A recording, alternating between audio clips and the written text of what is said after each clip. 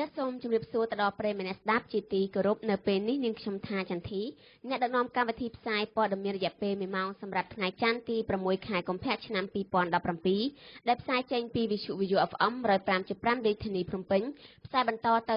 102.5ខេត្តប្រសេះហនុនិង88 FM ខេត្តបាត់ដំបងនិងខេត្តសៀមរាបនាងខ្ញុំក៏សូមជម្រាបសួរទៅដល់ប្រិយមិត្តអ្នកស្ដាប់ដែលកំពុងតែតាមដានស្ដាប់តាមរយៈគេហទំព័ររបស់យើងខ្ញុំគឺ www.vayofm.com យើងខ្ញុំនឹងផ្ដល់ជូនលោកអ្នកនៅព័ត៌មានជាតិនិងអន្តរជាតិសំខាន់សំខាន់រួមនឹងព្រឹត្តិការណ៍ជាច្រើនទៀតជាដំបូងមុននឹងជូនព័ត៌មានពិស្ដារនាងខ្ញុំដែរជាអ្នកដឹកនាំកម្មវិធីផ្សាយក៏សូមជម្រាបជូនពីមេត្តានៃព័ត៌មានជាមុនសិន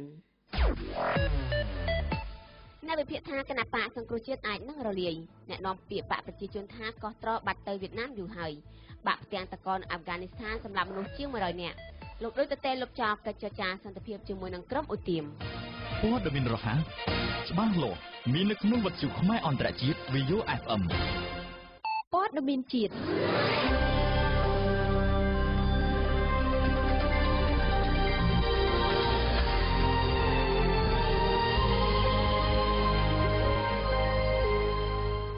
ព័ត៌មានជាតិជាដំបូងនេះគឺយើងចាប់អារម្មណ៍ទៅលើអ្នកនាំពាក្យបកប្រជាជនថាកោះត្របាត់ទៅវៀតណាមយូរហើយ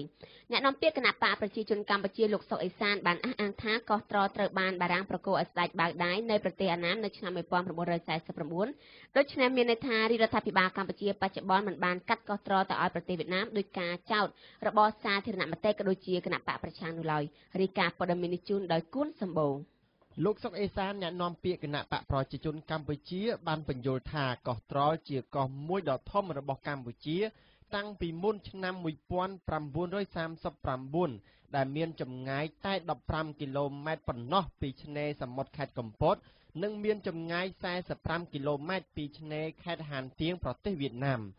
លោកថាសន្ធិដ្ឋនៅក្រោមនឹមត្រួតត្រារបស់អាណានិគមបារាំងនៅឆ្នាំ1939បារាំងបានសម្រេចផ្ទេរការគ្រប់គ្រងកោះត្រល់ពីកម្ពុជាទៅឲ្យសន្ធិដ្ឋក្រោមការគ្រប់គ្រងរបស់អាញាធរកូសាំងស៊ីនដោយអត្តនោម័តរបស់អគ្គទេសាភិបាលបារាំងម្នាក់ឈ្មោះព្រីមីយេដោយគ្មានការតវ៉ាលោកសុកអេសានត្រូវបានគេហទំព័រដាំបំពិលដកស្រង់សម្ដីនៅថ្ងៃនេះថា នៅឆ្នាំ1949ពោលគឺ10ឆ្នាំក្រោយមក បារាំងបានសម្រេចប្រគល់ទឹកដីកូសាំងស៊ីនមកឲ្យស្ដេចប៉ាដៃនៃប្រទេសវៀតណាមក្នុងនោះក៏រួមមានកោះត្រល់ផងដែរលោកថាពេលនោះគ្មានការតវ៉ាពីរដ្ឋាភិបាលខ្មែរទេលោកបន្ថែមទៀតថានៅពេលដែលសម្ដេចនរោត្តមសីហនុទាមទារឯករាជ្យពីបារាំងក៏មិនមានការទាមទារកោះត្រល់ដែររហូតមកដល់សម័យខ្មែរក្រហមគ្រប់គ្រង ខ្មែរក្រហមក៏ចង់វាយដណ្ដើមកោះត្រល់ពីវៀតណាមវិញដែរតែមិនអាចទៅរួច នៅទីបំផុតមហិច្ឆតារបស់ខ្មែរក្រហមចង់បានកោះត្រល់ត្រូវបានបរាជ័យគួរកត់សម្គាល់ថាបញ្ហាកោះត្រល់កំពុងតែបង្កភាពចម្រូងចម្រាសនៅក្នុងសង្គមខ្មែរបច្ចុប្បន្ន មានសាធារណមតិមួយចំនួនក៏ដូចជាគណៈបកប្រឆាំងធ្លាប់បានចោទប្រកាន់ថារដ្ឋាភិបាលកម្ពុជាដែលដឹកនាំដោយលោកហ៊ុនសែនសពថ្ងៃ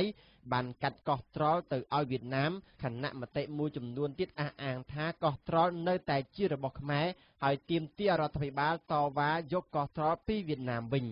លោកសៀងពីងសែប្រធានគណៈកម្មការព្រំដែនកម្ពុជាដែលមានមូលដ្ឋានក្នុងប្រទេសបារាំងធ្លាប់បានអះអាងថាបញ្ហាកោះត្រល់នៅតែជាបញ្ហាមិនអាចដោះស្រាយចប់សពគ្រប់នោះទេ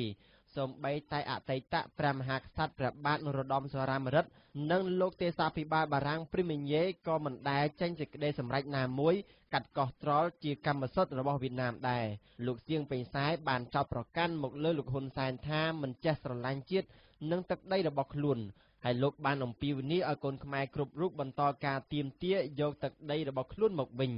យ៉ាងណាក្តីតាក់ទងទៅនឹងការចោទប្រកាន់នេះលោកសុកអេសានបានឆ្លើយតបថាក្នុងនាមជាជនជាតិខ្មែរមួយរូបយើងពិតជាមានការសោកស្ដាយនៃការបាត់បង់កោះត្រល់តែធ្វើដូចម្ដេចបើនេះវាជាផលវិបាកនៃប្រវត្តិសាស្ត្រយើងត្រឹមបានតែសោកស្ដាយតែប៉ុណ្ណោះ លោកសង្កត់ធ្ងន់ថាអ្នកដែលស្រែកចោទប្រកាន់មកលើរដ្ឋាភិបាលកម្ពុជាសប្តាហ៍ថ្ងៃថាបានធ្វើបាត់បង់កោះត្រល់គឺគ្រាន់តែជាការឃោសនានយោបាយធ្វើឲ្យខ្មែរបែកបាក់ហើយកាន់តែមានការឈឺចាប់ថែមទៀតគូបញ្ជាក់ថាកោះត្រល់មានផ្ទៃដីសរុបទំហំ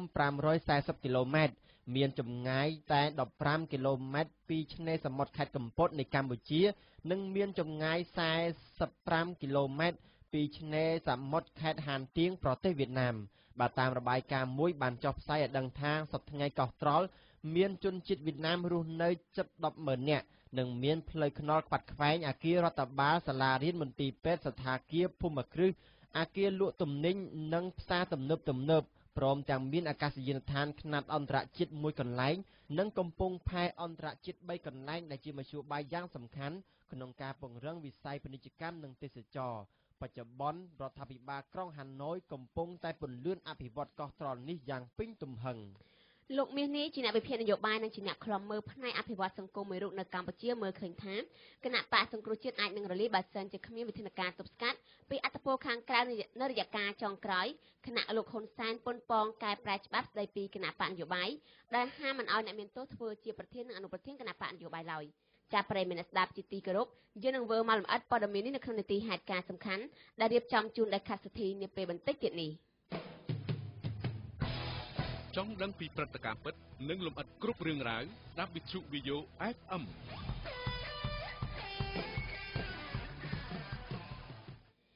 បណ្ដារាជធានីខេត្តមួយចំនួនក្នុងនោះមានរាជធានីភ្នំពេញឧត្តរមានជ័យបន្ទាយមានជ័យសៀមរាបបាត់ដំបងប៉ៃលិនកំពង់ស្ពឺតាកែវកោះកុង កំពង់ឆ្នាំងកំពង់ធំរតនគិរីនិងមណ្ឌលគិរីអាកាសធាតុនឹងចុះត្រជាក់ក្នុងរង្វង់ពី17ដល់19អង្សានៅថ្ងៃទី7ខែកុម្ភៈឆ្នាំ2017ដែលឡែកតំបន់វាលទំនាបខ្ពង់រាបនិងតំបន់មាត់សមុទ្រមានសីតុណ្ហភាពអបបរមាចាប់ពី20ដល់22អង្សានិងសីតុណ្ហភាពអតិបរមាចាប់ពី29ដល់31អង្សានេះបញ្យងតាមការព្យាករណ៍អាកាសធាតុរបស់ក្រសួងធនធានទឹកនិងអូតូនិយមដែលឡែកគណៈបកសង្គ្រោះជាតិត្រៀមភ្នាក់ងារជាង40000នាក់ដើម្បីសង្កេតការបោះឆ្នោតឃុំសង្កាត់ខណៈដែលគណៈបកប្រជាជនកម្ពុជានៅតែបង្ហាញសុទ្ធិធិនិយមថានឹងបន្តឆ្នះឆ្នោតទាំងថ្នាក់ក្រោមជាតិនិងថ្នាក់ជាតិគណៈបកសង្គ្រោះជាតិដែលជាគូប្រគល់ប្រជែងដ៏ស្រួចស្រាវប្រកាសថា ខ្លួនត្រៀមភ្នាក់ងារជាង40000នាក់ដើម្បីសង្កេតការបោះឆ្នោតជ្រើសរើសឃុំសង្កាត់ខាងមុខនេះរីកាព័ត៌មាននេះជូនដោយខាត់សុធីលោកកឹមសុខាប្រធានស្ដីទីគណៈបកសង្គ្រោះជាតិបញ្ជាក់ថាក្រោយពីបញ្ចប់បញ្ជីបេក្ខជនឈរឈ្មោះបោះឆ្នោតជ្រើសរើសក្រុមប្រឹក្សាឃុំសង្កាត់ដែលមានជាង20000នាក់រួចរាល់ហើយគណៈបកសង្គ្រោះជាតិរបស់លោកនឹងជ្រើសរើសភ្នាក់ងារសង្កេតការបោះឆ្នោតជាង40000នាក់ទៀតហើយអ្នកសង្កេតការទាំងនោះនឹងត្រូវទទួលការបណ្ដុះបណ្ដាលឲ្យទាន់ពេលវេលាផងដែរ គិតមកដល់ពេលនេះការរៀបចំបេក្ខជនឈរឈ្មោះសម្រាប់ការបោះឆ្នោតជ្រើសរើសក្រុមប្រឹក្សាឃុំសង្កាត់គណៈបកសង្គ្រោះជាតិសម្រាប់បានស្ទើរតែ 100%ហើយ។ លទ្ធផលនេះលោកកឹមសុខាបានបង្ហាញនៅមោទនភាពយ៉ាងខ្លាំងដែលឃើញថ្នាក់ដឹកនាំមូលដ្ឋានមានការលះបង់មានការយោគយល់មានភាពរឹងមាំរួបរวมផ្គូផ្គងសម្របសម្រួលដោះស្រាយបញ្ហាផ្ទៃក្នុងបានយ៉ាងល្អដោយតម្កល់ផលប្រយោជន៍ជាតិនិងផលប្រយោជន៍ប្រជាពលរដ្ឋជាធំនេះជាការថ្លែងបញ្ជាក់ពីលោកកឹមសុខាក្នុងកិច្ចប្រជុំផ្ទៃក្នុងជាមួយថ្នាក់ដឹកនាំមូលដ្ឋាននៅខេត្តក្រចេះថ្ងៃទី5កុម្ភៈពីម្សិលមិញ។ ការបោះឆ្នោតជ្រើសរើសក្រុមរក្សាឃុំសង្កាត់កាន់តែខិតជិតមកដល់នៅប៉ុន្មានខែខាងមុខនេះគណៈបកនយោបាយទាំងតូចទាំងធំទាំងថ្មីទាំងចាស់កំពុងសស្រាក់សស្រាំដុតដៃដុតជើងរៀបចំបេក្ខជនរបស់ខ្លួនប៉ុន្តែក្នុងចំណោមគណៈបកទាំងនោះមានតែគណៈបកធំធំតែពីរប៉ុណ្ណោះដែលមានសក្តានុពលក្នុងការប្រកួតប្រជែងដណ្ដើមអាសនៈដែលមានជាង10000នៅទូទាំងប្រទេស។ លោកសុកអេសានអ្នកនាំពាក្យគណៈបកប្រជាជនកម្ពុជា ធ្លាប់បានប្រាប់វិទ្យុវិយោថាគណៈបករបស់លោកនឹងបន្តទទួលជ័យជំនះទៀតសម្រាប់ការបោះឆ្នោតខាងមុខលោកថាគណៈបកប្រជាជនកម្ពុជាកំពុងតែធ្វើសមាជតាមមូលដ្ឋានដើម្បីជ្រើសរើសបេក្ខជនឈរឈ្មោះជាមេឃុំក្រោយបញ្ចប់សមាជគណៈបកប្រជាជននឹងបញ្ជូនឈ្មោះបេក្ខជនទៅគណៈកម្មាធិការជាតិរៀបចំការបោះឆ្នោត សូមបញ្ជាក់ថាចាប់ពីថ្ងៃទី3ដល់ថ្ងៃទី5ខែមីនាឆ្នាំ2017ខាងមុខគណៈកម្មាធិការជាតិរៀបចំការបោះឆ្នោតនិងទទួលពាក្យសុំចុះបញ្ជីបេក្ខជននៃគណៈបកនយោបាយឈរឈ្មោះបោះឆ្នោតទាំងអស់ឯការបោះឆ្នោតក្រុមរក្សាឃុំសង្កាត់អាណត្តិទី4នឹងធ្វើឡើងនៅថ្ងៃទី4ខែមិថុនាឆ្នាំ2017ខាងមុខនេះហើយ។ព័ត៌មានជាតិជាបន្តនេះគឺក្រមជនពិការនឹងចាប់ផ្ដើមប្រគំតន្ត្រីនៅវត្តភ្នំជាលើកដំបូងតាមការកំណត់របស់លោកហ៊ុនសែន សប្តាហ៍ក្រោយនេះក្រមជនពិការអាចនឹងប្រគំតន្ត្រីរបស់ខ្លួននៅរមណីយដ្ឋានប្រវត្តិសាស្ត្រវត្តភ្នំបានហើយតែមិនមែនតែមានតែរមតែមិនមែនមានតែរមណីយដ្ឋានប្រវត្តិសាស្ត្រវត្តភ្នំតែមួយនោះទេក្នុងពេលឆាប់ឆាប់នេះស្លាយធានីភ្នំពេញនឹងរៀបចំទីតាំងពីកន្លែងផ្សេងទៀតជូនដល់ពួកគាត់ផងដែរនេះជាការអះអាងពីអភិបាលរងរាជធានីភ្នំពេញលំអិតព័ត៌មាននេះជូនដោយគឹមច័ន្ទចៅបច្ចុប្បន្នយើងសង្កេតឃើញថានៅតាមស្តុបនិងតាមដងផ្លូវមួយចំនួននៅរាជធានីភ្នំពេញ គឺមានវត្តមានបងប្អូនដែលជាជនពិការបានបង្កើតជាក្រុមតន្ត្រីមានគ្នាប្រហែលពី3ទៅ4នាក់ព្យាយាមស្រែកច្រៀងនិងប្រគំតន្ត្រីក្រោមកម្ដៅថ្ងៃដើម្បីទទួលបានប្រាក់មូលនិធិបន្តិចបន្តួចពីប្រជាពលរដ្ឋធ្វើដំណើរតាមដងផ្លូវដែលមានចិត្តអាណិតអាសូរដល់ជនដែលបាត់បង់ផ្នែកខ្លះនៃកាយសម្បត្តិរបស់ខ្លួន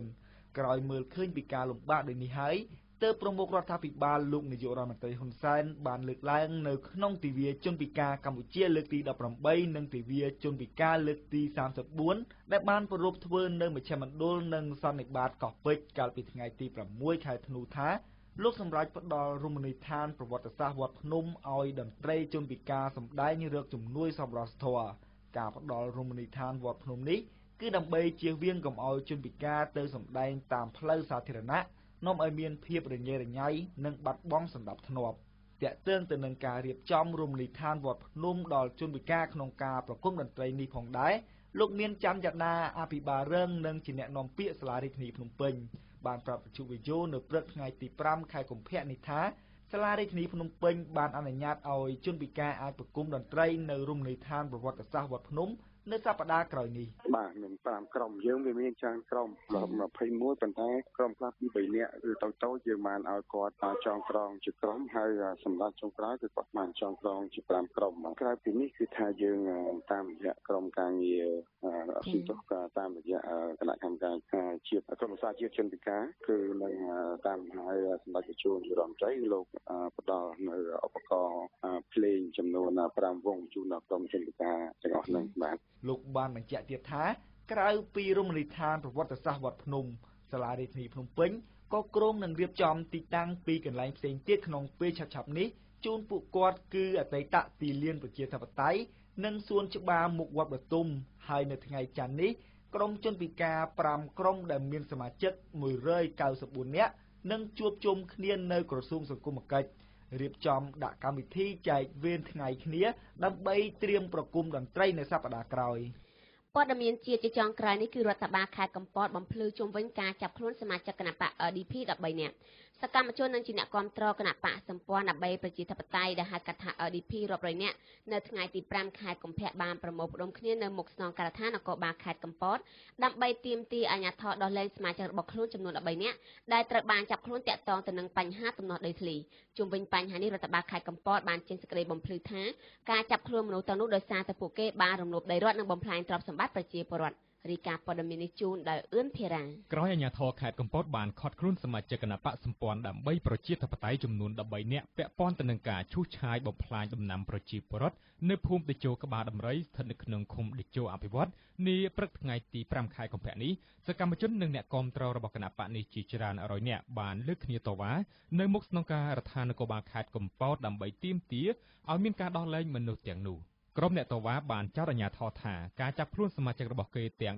13នាក់ជាការបំពានច្បាប់ជុំវិញបញ្ហានេះរដ្ឋបាលខេត្តកំពតបានចេញសេចក្តីប្រកាសព័ត៌មានរៀបរាប់ពីដំណើររឿងដែលឈានទៅដល់ការចាប់ខ្លួនមនុស្សទាំង13នាក់ថា កាលពីថ្ងៃទី3ខែកុម្ភៈបុគ្គលិកលីកំហុងនិងបពពួករួមទាំងអ្នកគ្រប់គ្រងនៅពីក្រោយក្នុងបានឈូសឆាយដីនិងដំណាំប្រជាពលរដ្ឋលើដីសម្បត្តិសង្គមគិច្ចចែកជូនអតីតកងកម្លាំងប្រដាប់អាវុធនិងគ្រួសារដែលមិនទាន់អនុវត្តបន្តនិងដុតរៀនទន្ទ្រានយកដីព្រៃតំបន់អូសៀនជាតិនៅក្នុងខេត្តកំពត បើតាមសេចក្តីបំភ្លឺរបស់រដ្ឋបាលខេត្តកំពតអះអាងថាក្រុមនេះបានបង្កបញ្ហានិងប្រព្រឹត្តល្មើសច្បាប់តាំងពីឆ្នាំ2015មកម្ល៉េះបើតាមលោកសឹមវុធីអភិបាលរងខេត្តកំពតបញ្ជាក់ថាការចាប់ខ្លួននេះដោយសារតែពួកគេបានប្រព្រឹត្តបទល្មើសជាក់ស្ដែងដែលបានយកគ្រឿងចាក់មកធ្វើសកម្មភាពឈូសឆាយដី និងដំណាំរបស់ប្រជាពលរដ្ឋចំនួន6គ្រួសារ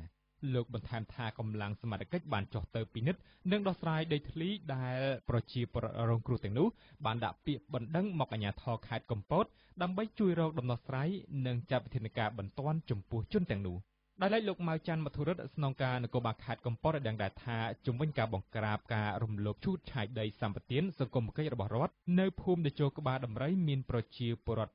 250នាក់នៅភូមិតេជោអភិវឌ្ឍឃុំតេជោអភិវឌ្ឍបានប្រមូលផ្ដុំនៅសាលាឃុំអបអរសាទរគាំទ្រចំពោះសកម្មភាពអនុវត្តច្បាប់របស់ក្រមការងារថ្នាក់ខេត្តផងដែរ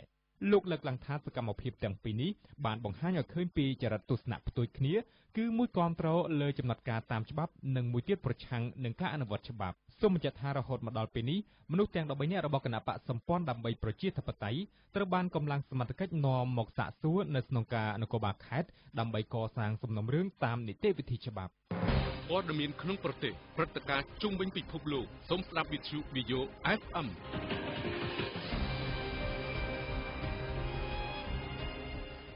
ព័ត៌មានអន្តរជាតិ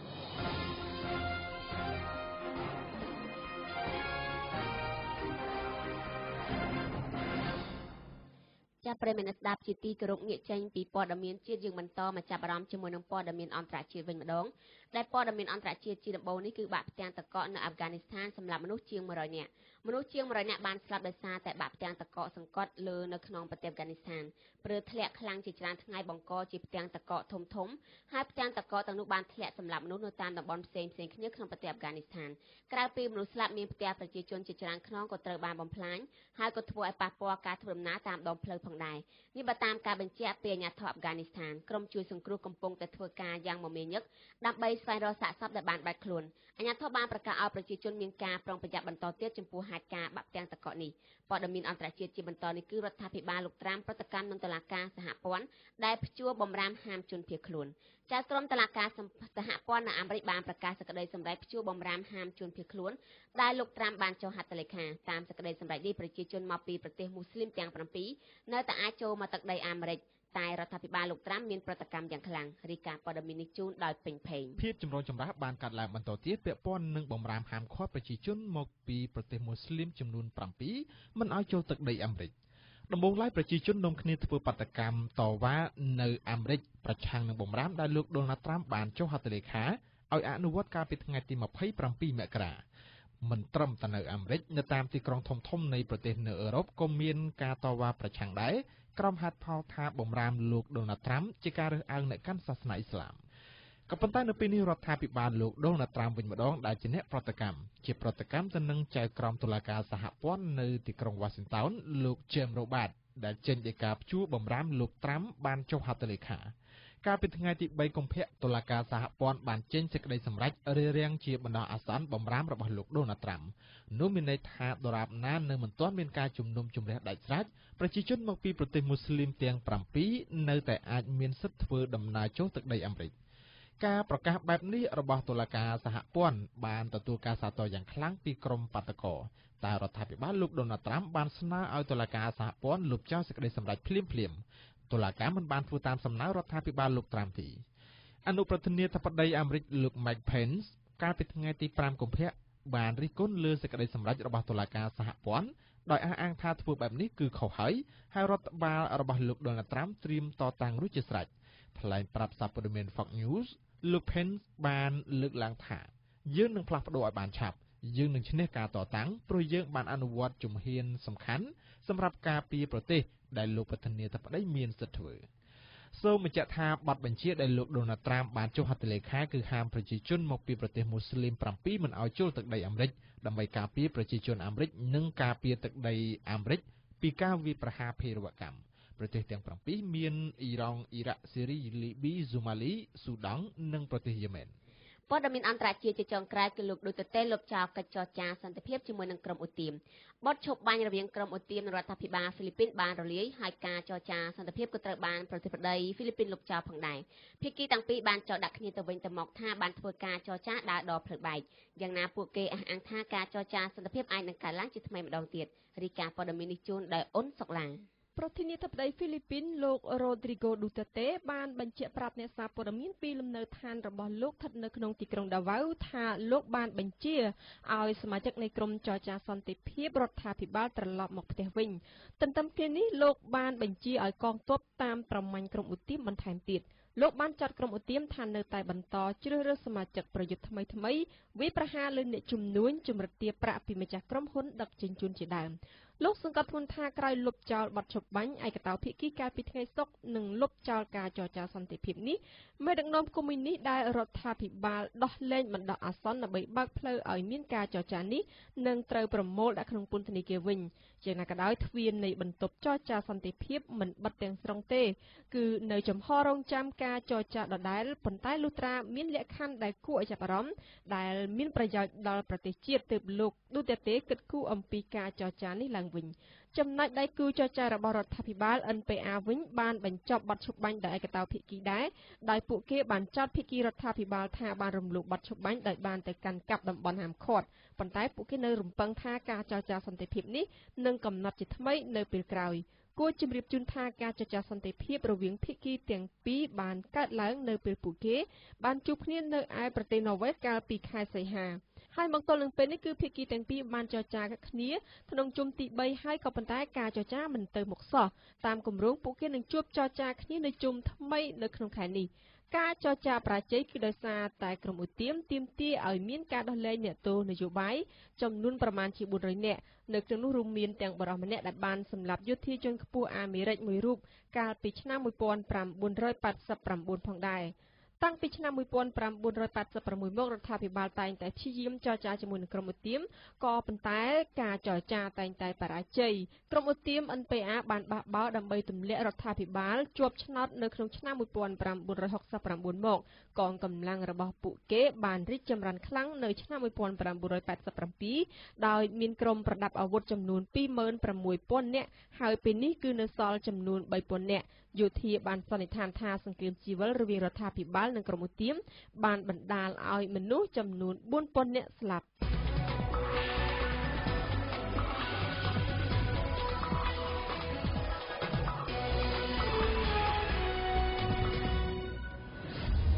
ខ្ញុំផ្ដល់ព័ត៌មានលឿនរហ័សនិងច្បាស់លាស់ជូនលោកអ្នកយ៉ាងពិតប្រាកដ មិនត្រឹមតែព័ត៌មាន ការកំសាន្តអប់រំនិងចំណេះដឹងថ្មីៗត្រូវបានផ្សាយជូនជារៀងរាល់ថ្ងៃអ្វីដែលពិសេសទៅទៀតនោះខ្ញុំជាជើងឯកក្នុងការផ្សព្វផ្សាយពាណិជ្ជកម្មសេវាកម្មទៅអតិថិជនរបស់លោកអ្នកយ៉ាងមានប្រសិទ្ធភាព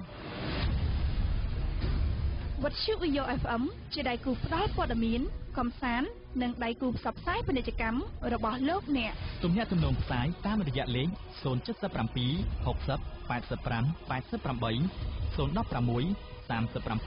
71 71ប្រិមនស្ដាប់ជាទីមេត្រីលោកអ្នកកំពុងតែស្ដាប់កម្មវិធីផ្សាយព័ត៌មានរបស់វិទ្យុវិយោកម្មវិធីផ្សាយបន្តគឺជានីតិហេតុការណ៍សំខាន់ដែលរៀបចំជូនដោយខាត់សុធីនិយម2អ្នកវិភាគថាគណៈបាសង្គ្រោះជាតិអាចនឹងរលាយនឹងបន្តមកទៀតគឺជានីតិសិភៅមួយមួយសប្តាហ៍ដែលរៀបចំជូនដោយរាយដំនិយម2កឹមឌីណាចែករំលែកវិធីសាស្ត្រ3ចំណុចជួយឲ្យយើងកាន់តែចូលចិត្តអាននឹងបន្តមកទៀតគឺជានីតិយុវជនប្រចាំសប្តាហ៍ដែលរៀបចំជូនដោយអឿនភិរានិយម2ប្រៃសឹងជាលីលើកឡើងថាយើងទាំងអស់គ្នាមិនគួរមើលរំលងពីផលប៉ះពាល់សំណល់ថង់ប្លាស្ទិកនៅកម្ពុជា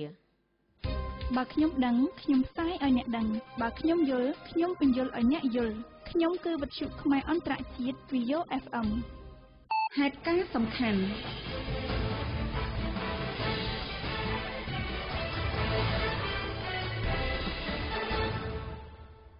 លោកមេនីជាអ្នកវិភាគនយោបាយនិងជាអ្នកខ្លំមើលផ្នែកអភិវឌ្ឍសង្គមមួយរូបនៅកម្ពុជាមើលឃើញថាគណៈបកសង្គ្រោះជាតិអាចនឹងរលាយបើសិនជាគ្មានវិធានការទប់ស្កាត់ពីអត្តពលខាងក្រៅនៅរយៈនៅរយៈកាលចុងក្រោយ គណៈដែលលោកហ៊ុនសែនប៉ុនប៉ងកែប្រែច្បាប់ស្តីពីគណៈបកនយោបាយដែលហាមមិនឲ្យអ្នកមានទោសធ្វើជាប្រធាននិងអនុប្រធានគណៈបកនយោបាយចានៅពេលនេះសូមស្ដាប់នីតិហេតុការណ៍សំខាន់ដែលរៀបចំជូនដោយខាត់សុធីដូចតទៅលោកនាយករដ្ឋមន្ត្រីហ៊ុនសែនបានប្រមានធ្វើវិសោធនកម្មច្បាប់ស្ដីពីគណៈបកនយោបាយដែលលោកចង់កែប្រែចំណុចសំខាន់ដូចជាបើប្រធានគណៈបកប្រព្រឹត្តកំហុសធ្ងន់ធ្ងរត្រូវរំលាយគណៈបកចោលនិងហាមប្រាមមិនឲ្យមេដឹកនាំនិងគណៈកម្មការនយោបាយនៃគណៈបកនោះធ្វើនយោបាយក្នុងរយៈពេលណាមួយចំណុចរសើបមួយទៀតលោកហ៊ុនសែនបាននិយាយថានឹងហាមមិនអោយអ្នកមានទោសធ្វើជាប្រធាននិងជាអនុប្រធានគណៈបកនយោបាយបានឡើយបើបែបនេះតើជោគវាសនារបស់លោកសំរងស៊ីដែលត្រូវបានគេចាត់ទុកថាជាបុគ្គលដែលកំពុងមានទោសនោះនឹងទៅជាយ៉ាងណា ហើយថាតើគណៈបកសង្គ្រោះជាតិអាចនឹងរលំរលាយដែរឬទេ យ៉ាងណាវត្ថុវិយោមិនអាចតាក់ទងសុំការបំភ្លឺពីមន្ត្រីគណៈបកសង្គ្រោះជាតិបានយ៉ាងណានៅឡើយទេជុំវិញវិធានការដើម្បីទប់ស្កាត់ស្ថានភាពចុងក្រោយនេះ។ ប៉ុន្តែសម្រាប់អ្នកវិភាគនយោបាយនិងជាអ្នកឃ្លាំមើលផ្នែកអភិវឌ្ឍសង្គមនៅកម្ពុជាលោកបណ្ឌិតមាសនេះមើលឃើញថាប្រសិនបើគម្រោងធ្វើវិសោធនកម្មច្បាប់ស្ដីពីគណៈបកនយោបាយត្រូវបានយកមកអនុម័តដោយអ្វីដែលលោកហ៊ុនសែនចង់បានមែននោះផលប៉ះពាល់សម្រាប់ថ្នាក់ដឹកនាំគណៈបកសង្គ្រោះជាតិដែលមិនមែនមានតែលោកសំរងស៊ីនោះទេលោកកឹមសុខាក៏អាចនឹងប៉ះពាល់នៅថ្ងៃណាមួយមិនខានផលប៉ះពាល់វានឹង ត្រូវមានហើយសម្រាប់